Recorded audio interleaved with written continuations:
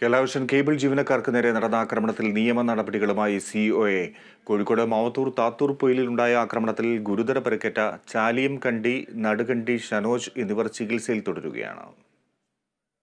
എനിക്കിപ്പം പുറമേതിനും കയറ്റി നടക്കുകയാണ്. പിന്നെ ഒരു അതിന്റെ ഇടയിൽ കൂടെ ഒരു ഉച്ചാരണം നടത്തിയിട്ടുണ്ട്. അവർ ജാതി പേര് വിളിച്ചിട്ടുണ്ട്. അത് നമുക്ക് തീരെ ഇഷ്ടപ്പെട്ടില്ല. കാരണം നമ്മളത്തെ പട്ട താന്ന ആൾക്കാരായാലും ഒരു ജാതി പേര് വിളിക്കുമ്പോൾ നമുക്കൊരു ഇതുണ്ടാവുമല്ലോ.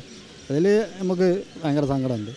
കേബിൾ അറ്റകുറ്റപ്പണി നടത്തുന്നതിനിടെയാണ് മാവൂർ താത്തൂർ പൊയിലിൽ കേരള വിഷൻ കേബിൾ ജീവനക്കാർക്ക് നേരെ ആക്രമണമുണ്ടായത്.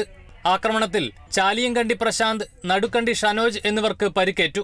ഇവരെ ആദ്യം ചെറുപ്പ പ്രാഥമികാരോഗ്യ കേന്ദ്രത്തിലും പിന്നീട് കോഴിക്കോട് മെഡിക്കൽ കോളേജ് ആശുപത്രിയിലും പ്രവേശിപ്പിച്ചു.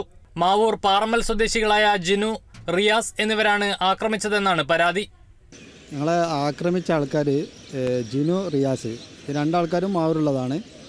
പിന്നെ ഞങ്ങൾ ലൈനിൽ വർക്ക് ചെയ്യുമ്പോഴാണ് ഇവരെ നമ്മളെ വിളിക്കുന്നത്.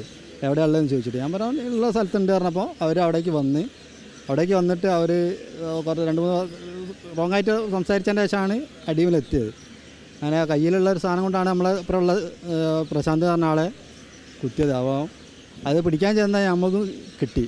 ഏത് തല്ല്. കേബിൾ ജീവനക്കാരുടെ കഴുത്തിനും കണ്ണിനും ചുണ്ടിനുമാണ് പരിക്കേറ്റത്. ഒരുത്തം വന്ന് ചാവി ഉണ്ട് അവന്റെ കയ്യിൽ അതാണെന്ന് തോന്നുന്നത് അതൊക്കെ ഇട്ട് എന്നെ കുത്ത് എന്നെ ഇവിടെ മുഖത്ത് ഇട്ട് ഇടിക്കൽ കുത്തൽ പിന്നെ അവിടെ നിലത്തിട്ട് അടിക്കുക അത് നമ്മളതൊന്നും പ്രതീക്ഷിക്കില്ല അപ്പോൾ ഇവർക്ക് എന്തോ ഒരു വൈരാഗ്യം പോലെ വന്നിട്ടാണ് ഇവർ ഇതൊക്കെ ചെയ്തത്. ജീവനക്കാരെ ആക്രമിച്ച സംഭവത്തിൽ നിയമ നടപടികളുമായി മുന്നോട്ടു പോകാനാണ് കേബിൾ ടി വി ഓപ്പറേറ്റേഴ്സ് അസോസിയേഷന്റെ തീരുമാനം. Kerala vision news Kozhikode.